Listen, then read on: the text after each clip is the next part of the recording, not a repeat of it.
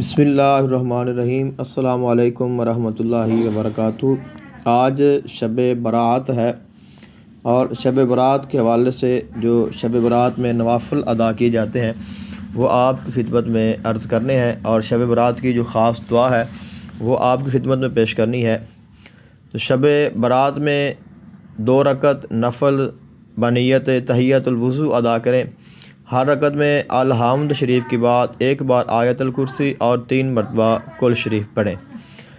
اس کے علاوہ دو رکعت نفل پڑھیں اور ہر رکعت میں الحمد شریف کے بعد آیت الکرسی ایک بار صورت اخلاص پندرہ بار۔ اور دو رکعت پڑھنے کے بعد آپ تین بار سورہ یاسین پڑھیں تو جو شخص اس پر عمل کرے گا وہ مرنے سے پہلے جنت میں اپنا گھر دیکھ لے گا۔ چار رکعت نفل پڑھیں اور ہر رکعت میں الحمد شریف کے بعد پچاس پچاس مرتبہ صورت اخلاص پڑھیں۔ آٹھ رکعت دو دو کی نیت سے یعنی دو دو کر کے پڑھیں۔ اور ہر رکعت میں الحمد شریف کے بعد کل شریف کو پانچ پانچ مرتبہ پڑھیں۔ سو رکعت نفل پڑھیں دو دو کی نیت سے، اور ہر رکعت میں الحمد شریف کے بعد دس دس مرتبہ صورت اخلاص شریف پڑھیں۔ اس کے علاوہ عشاء کی نماز مسجد میں باجماعت پڑھیں۔ اور حدیث پاک میں ہے کہ جو شخص عشاء اور فجر کی نماز باجماعت پڑھتا ہے، اس کو پوری رات کی عبادت کا ثواب ملتا ہے۔ عشاء کی نماز کے بعد تین سو تیرہ بار صلی اللہ علیہ محمد پڑھیں۔ اس کے بعد دو رکعت نماز صلاۃ و توبہ پڑھیں اور اللہ تعالیٰ سے اپنے گناہوں کی معافی مانگیں۔ صلاۃ و تسبیح کی نماز پڑھیں، کیونکہ حضور عقید عالم صلی اللہ علیہ وآلہ وسلم کا فرمان ذیشان ہے، جو شخص صلاۃ و تسبیح پڑھتا ہے اللہ تعالیٰ اس کے تمام گناہوں کو معاف فرما دیتا ہے اور اس کے رزق میں برکت عطا فرما دیتا ہے۔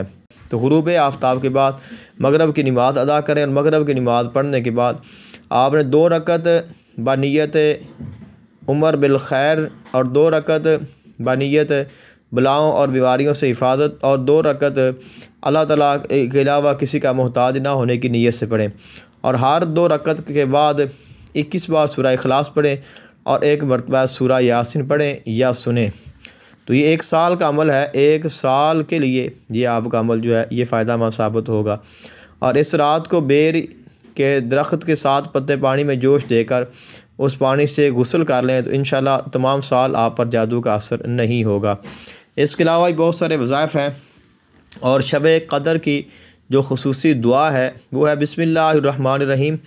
اللہم یا ذل منی ولا یمن علیکہ یا ذل جلالی والاکرام یا ذطولی والانعام لا الہ الا انت ظہر اللہین وجار المستجیرین و امان الخائفین اللہم ان کنتا کتبتنی عندک فی ام الکتاب شقیا او محروما او مطرودا او مخترا علیہ فی رزقی فمحو اللہم شقاوتی و حربانی و طردی وق تارا رزقی واس بتنی اندا کا فیم الکتاب سعیدم مرزوقاً موفقاً للخیرات، موفقاً للخیرات۔